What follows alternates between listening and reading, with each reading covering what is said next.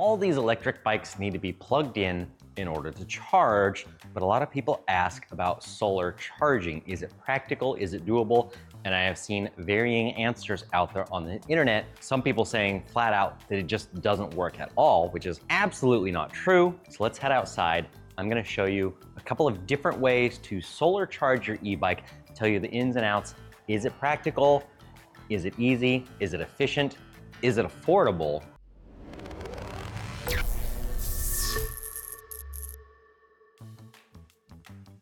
One is the setup I'm using on my trike. I have a foldable solar panel here from PowerFilm Solar. I bought that, I paid for that. They're not sponsoring anything in this video. My charge controllers are from Genasun, also not sponsored. And this is a very, very efficient, lightweight setup, but a little more complex to set up and kind of a lot more expensive. But let me start with what I would say is the easiest way to solar charge your bike. This is a battery bank. This particular one is from Egretech.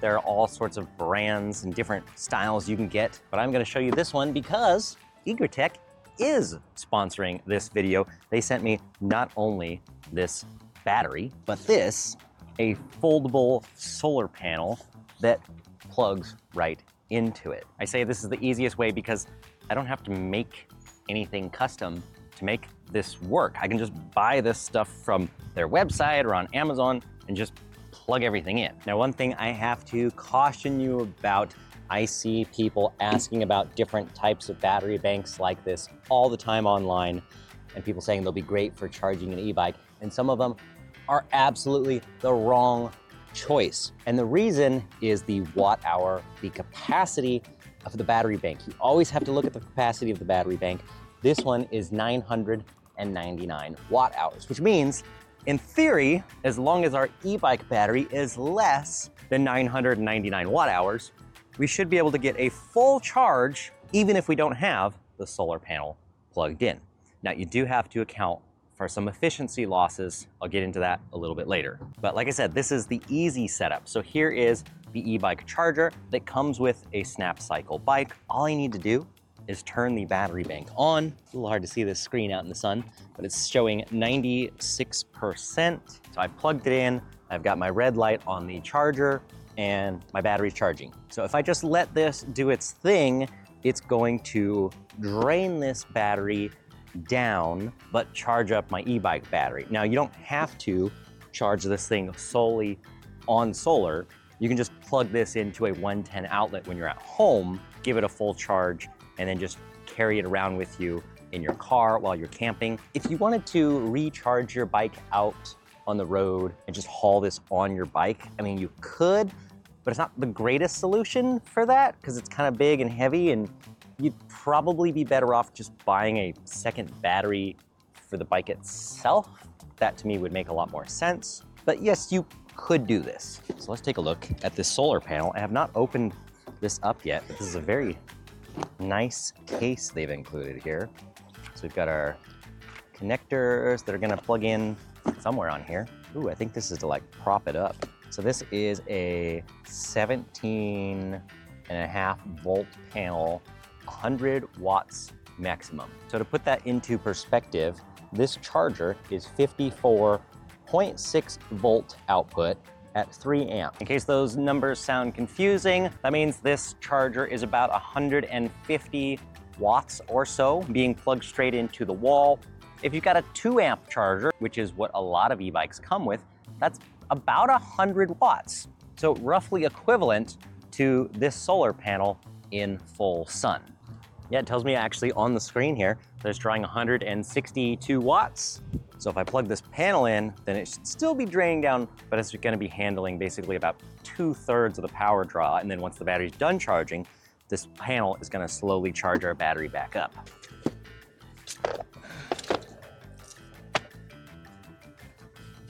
So the panel has some small legs behind it, so you can kind of prop it up for maximum exposure. Little lid right here, we just pop that open. With our solar inputs using a pretty standard XT60 connector. And that is all there is to it. Our solar panel is set up, charging our battery bank, and then charging the bike. No special wiring, no funny connectors. So the advantages of a system like this from Egretech, it's all 100% plug and play for whatever e-bike you have.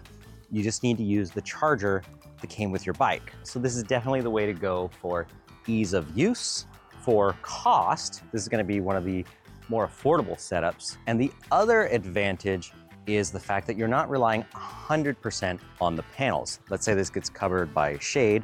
Like right now I'm blocking half of the panel. That means I'm only gonna get like 50 watts.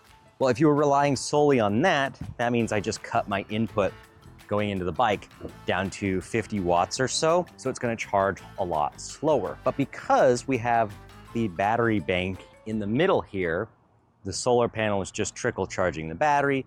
The battery is actually charging our other battery. We're not gonna lose any charge time at all. It's gonna charge very quickly, the same as if you plugged it into the wall until that battery is dead. Once again, thanks to Egretech for sending me this complete setup.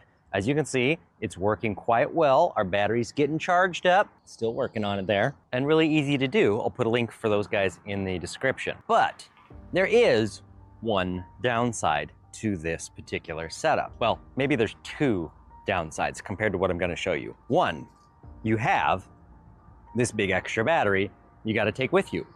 If you wanna take this setup on your bike, it's not very practical. What if you could eliminate the battery and just go straight from the panel to the bike? Two, and to me, this is the bigger problem, this setup is terribly inefficient from an electrical perspective. Now, solar is not the most efficient way to capture energy, but once you have the equipment, it's kind of like it's free, so it's still worth it. Now, if we could capture 100% of the sun's energy. That would be absolutely amazing. But even the best solar panels are a little over 20 some percent. I don't know exactly which cells are being used here. If I can find that, I'll put that on screen here. But here's what we're doing. We're taking the theoretical 100 watts maximum. That 100 watts is produced as DC power, and that is going into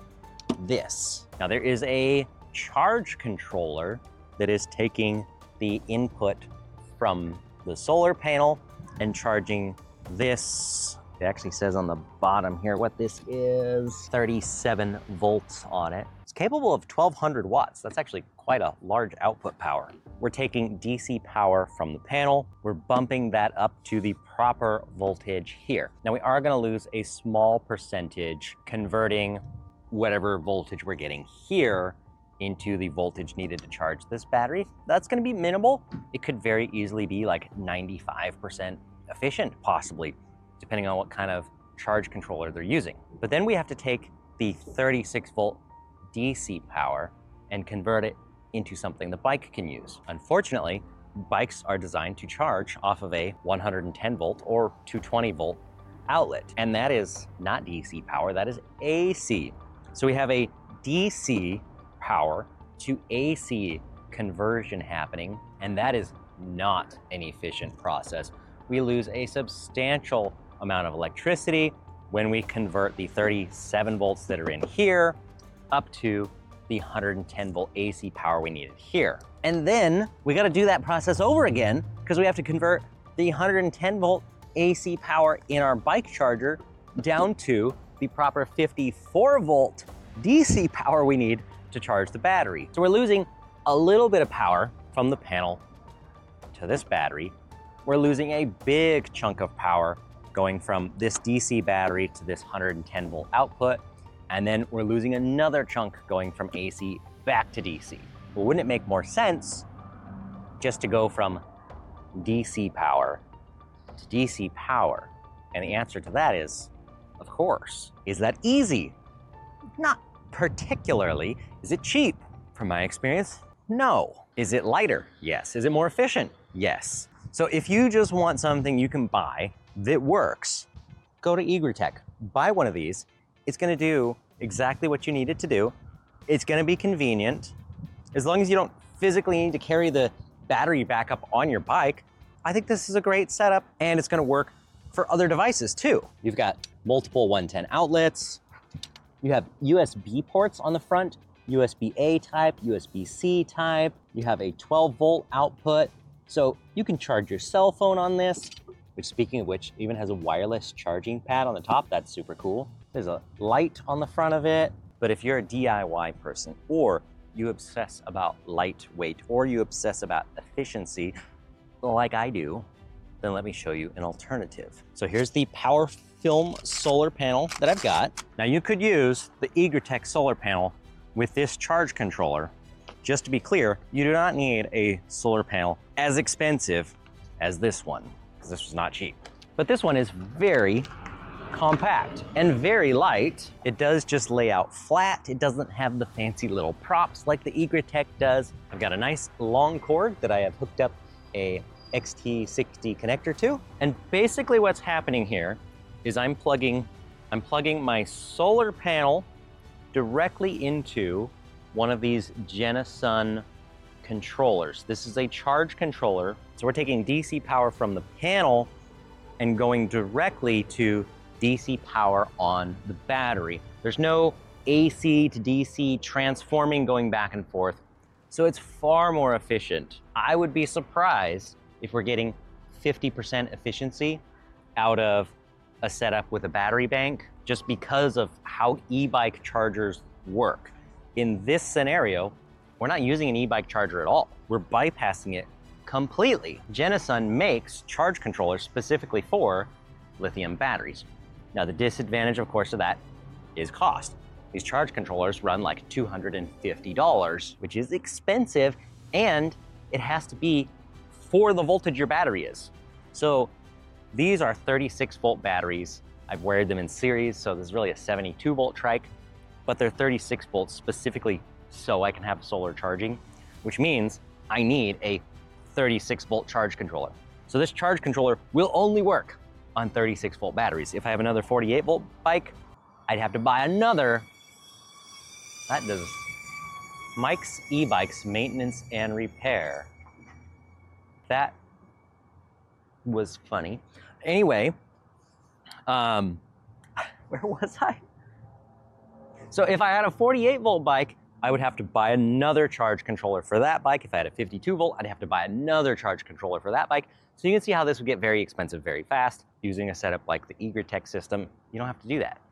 So I'm gonna unplug my little cap right here so I can plug this panel right in here and that is going directly to this charge controller. Takes a minute to kind of wake up there. Now I have a little light blink that's happening every once in a while. There we go. It is awake.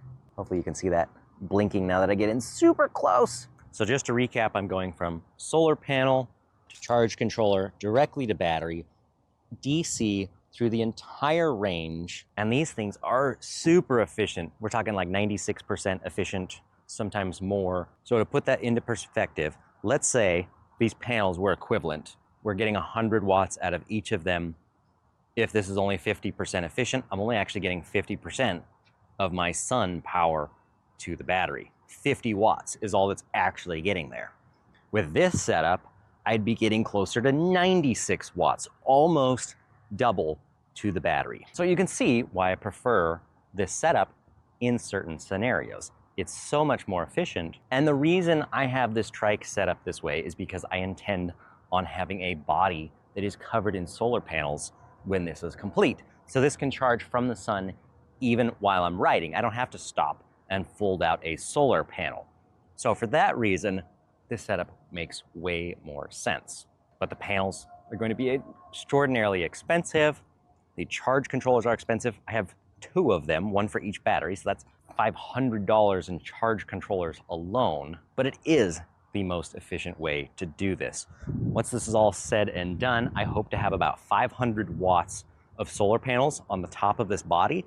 Yeah, that's a lot of panels, like three times the amount that's right here covered on top of this thing, but I think there's enough surface area to make that work, which means that sitting in the sun, this is gonna charge faster than just being plugged into a normal wall outlet with your typical e-bike charger. Now, the other thing I didn't mention is, uh, I said is more difficult.